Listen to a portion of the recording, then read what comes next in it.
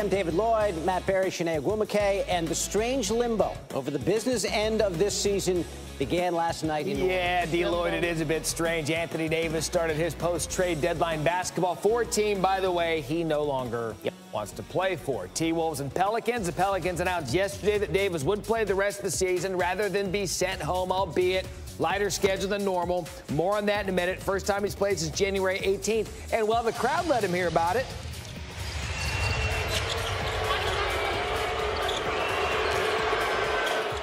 Now, rightfully so, the crowd would, would be booing, and some young Timberwolves fans got in it, but then they, they would change their tune pretty quick.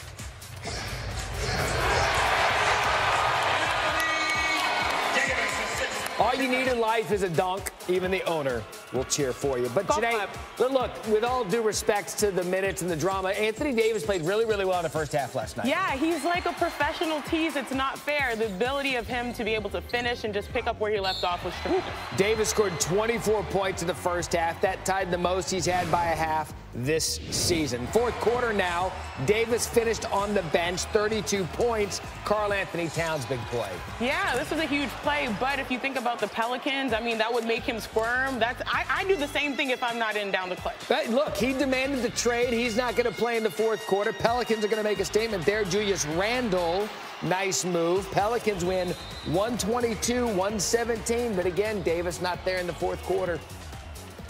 I just want to play basketball the other stuff. Also, I anno- also annoys the Twitter rants. Uh, it's all good. it's all good, man. I just go play basketball. That's it. It doesn't bother me. You know, I want to play. You know, and being able to go out there and play the game I love um, for 25 minutes, it was fun. That's definitely going to be a story to watch throughout the season. He will not play on back-to-backs. It's going to be a lighter schedule. Anthony Davis will still play basketball for the Pelicans, at least for now. When he was on the court, New Orleans outscored Minnesota by 22 and assisted on 22 of 26 field goals. But when Davis was off the floor, the Pelicans were outscored by 17 points and five assists. You like you like that, Sinead? Awkward. Yeah, it is. It is getting a little weird. Uh, meanwhile, Tobias Harris traded from the Clips earlier in the week, making his debut for the Sixers. Unfortunately for his big intro, they flashed Robert Covington's name. He was the last guy to wear number 33. Really? That, that's not how you spell Tobias. I no, don't think, Sinead, not it? at all. Okay, so we, we messed that one up. We'll get it. We'll get it together. He's in a mismatch here on Jokic, and he held his ground pretty nicely. This is a guy that not only is known for his offense, but defense, he's not a guy you can exploit either. And then Ben Simmons, find the new guy, and there hey, it is. I mean, it's storybook. It's great. I know Tobias Harris, and this is a guy that is not only going to add great power offensively and defensively, but also as a person, just a good dude. He said it was awesome last night in Philly, and then he finds another new guy, James Ennis over there, acquired from Houston. So Harris putting his stamp on this team, first time out. But J.J. Redick, a lot of talk about the core four, Chiney. J.J. Redick is like, hey, don't forget about me. Oh, that's what they say, core four. J.J. Redick might be the most important piece to their lineup because he keeps Jimmy and Joel and Ben happy by providing spacing with the shooting you see right there. People forget, he's the third leading scorer on uh, this yeah. team. Wake up, folks. Was sick, hadn't played in a week, and responded in a big way. 34 points in this game. That's the most he's ever scored as a Sixer. Yeah. So we go to the fourth quarter now. Good game. Sixers up two. Jokic, great find for Mason Plumlee. I mean, that guy is such a gifted passer. Not, it's regardless of position, honestly. Yep, he had his 11th triple-double, but Simmons off the hesitation move. Heavy. Right to the rack. Bully. And the Sixers win it. How did it feel, Tobias? I was for sure a little nervous. I'm not going to lie. Uh, coming into the situation, obviously I've been traded before, but you know this is a this is a big trade to just get myself going and um, for our team, and you know there's high expectations. So I just wanted to get out there and do anything I could to help our team win. And once I got out there and got playing and saw the talent, it was awesome. So the new starting lineup of Butler, Embiid, Harris, Redick, and Simmons outscored the Nuggets' very good basketball team by 14 on Friday. Also shot 56% from the field and held Denver to 45%. However, talk about the depth on this Sixers team. When the Sixers used any other five-man lineup, they were outscored by seven points. Doris Burke had some high praise for this new Sixers lineup. I saw what Tobias Harris has been over the last couple of years, which is an incredibly efficient three-point shooter, a guy who can play the second side of the floor, go off the bounce if necessary, exploit a mismatch. I believe this because I don't think uh, DeMarcus Cousins is 100% the DeMarcus Cousins we come to know. The Sixers may very well, in fact, have the best starting lineup in basketball. We'll get today's comments on the Sixers lineup in just a minute, but first, Warriors and Suns. Phoenix came in losers of 12 straight. Warriors have won the last 17 straight against the Suns.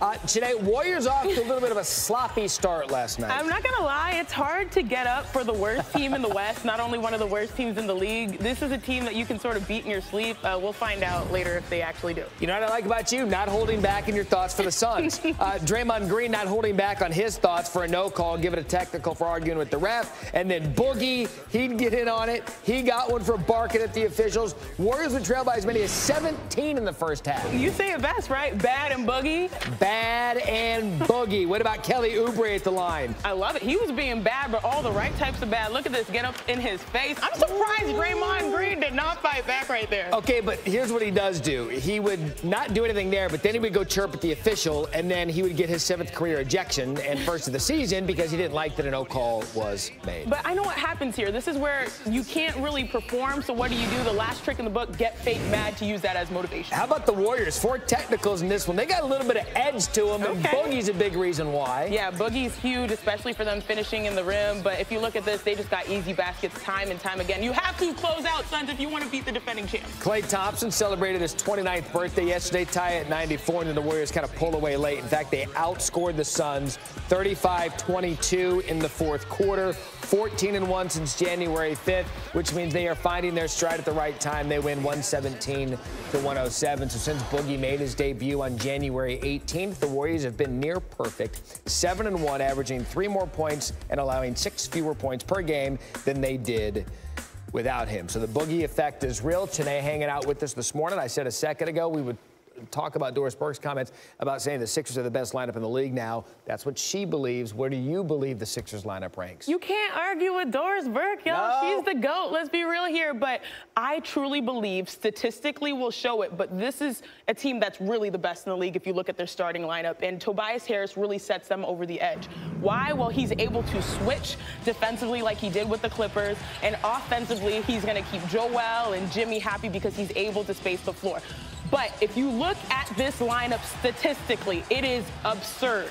Joel Embiid gives you 27 points per game. Tobias gives you 21 on the year. Jimmy gives you 20. JJ gives you 19. People sleep on JJ. And Ben Simmons not only gives you 17, but a 17 point triple double. So if you look at the starting lineup, this is the craziest starting lineup you'll see in the NBA, even over the Warriors. Now, if you think about, okay, what is the mindset of this team? If the Warriors are great shooters with KD and Steph, the mindset of this team is going to be long, physical, lanky, defenders, tough. This is a Philly team that can make its mark by bullying the rest mm. of the hmm. league. We'll see, see how quickly they can mesh. Butler, kind of a new guy to the starting lineup, and now you add Harris. We'll see how that plays out. Meanwhile, we know now that Anthony Davis may not finish games, but he's going to finish the season with the Pelicans. True. What is that situation like for all concerned? If there's one word to describe the whole Anthony Davis Pelican saga and the not thing that happened with the Lakers, now you're back with your team, it's awkward. It's 100% awkward. Because if you look at this as a teammate, you're playing with a guy that does not want to be there. Yep, okay. But he's a good teammate. He took a 50,000 fine for you. But he can still get 32 in 25 minutes. It's ridiculous. And as a team, you bench him in the fourth quarter because you're trying to keep him healthy as a prospect.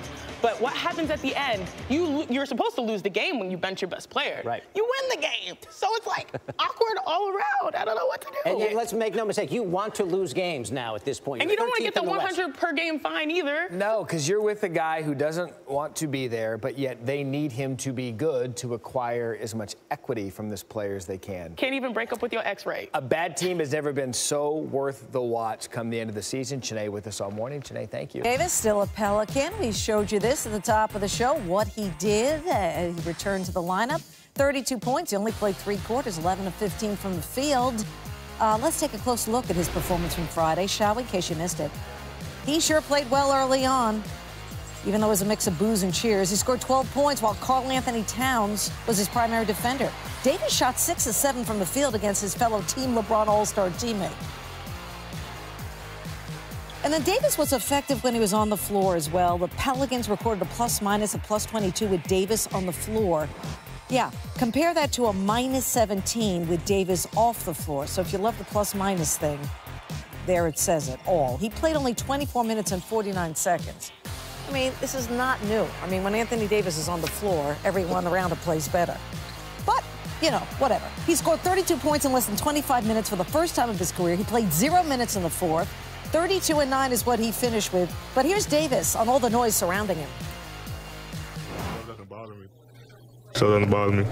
You know, I just want to play basketball. The other, the other stuff, also anno- also annoys the Twitter rants. Uh, it's all good. it's all good, man. I just go play basketball. That's it. It doesn't bother me. You know, I want to play. You know, and being able to go out there and play the game I love um, for 25 minutes, it was fun. Is any part of you regret how the last two weeks played out? No, I never regret anything I do. For more on Anthony Davis, we bring in our Jeff Van Gundy, who called the game in New Orleans. And Jeff, AD returned to the court for the first time in nine games, went for 32 and 9. You know, the Pelicans have said he will play the remainder of the season. But put yourself in Alvin Gentry's shoes. How would you handle him and his situation moving forward?